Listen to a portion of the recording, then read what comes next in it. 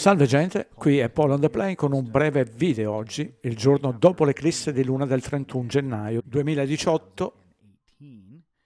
Un mio caro amico, Ron Hackberg, che abita in Florida, ha filmato ambedue i video con delle evidenze fotografiche l'altra notte dell'eclisse di luna, che secondo la mia opinione fa semplicemente saltare in aria il modello della Terra globo perlomeno la menzogna con cui ci hanno nutrito dove l'eclisse di luna è causata dall'ombra della Terra che si vede sulla luna stessa.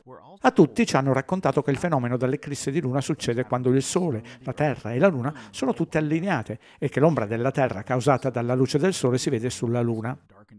Pertanto l'area scura che si vede si suppone si tratti, fra virgolette, della curva della Terra. Ma quello che ha documentato il signor Hagberg l'altra notte, come potete vedere qui, è che la presunta ombra della Terra è completamente capovolta rispetto a come dovrebbe succedere nel modello a globo. Se la parte scura della Luna si crede sia l'ombra della Terra, come mai l'ombra non inizia dalla parte opposta o dal basso della Luna?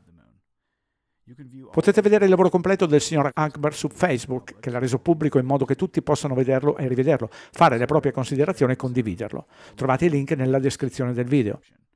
Oggi pomeriggio mi ha raccontato che i suoi video e le fotografie sono diventate virali e molti gli hanno chiesto di poter condividere così come l'ha concessa a me la condivisione.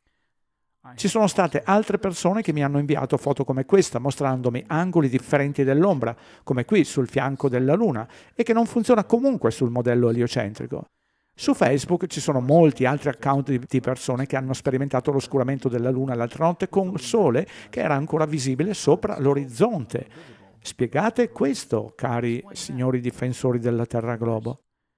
Ecco, è tutto per oggi. Spero vi piaccia il video di Mr. Hagbar e come è piaciuto a me e condividete questo video alle vostre cerchie. Alla prossima, qui è Paul on the Plane. State piatti.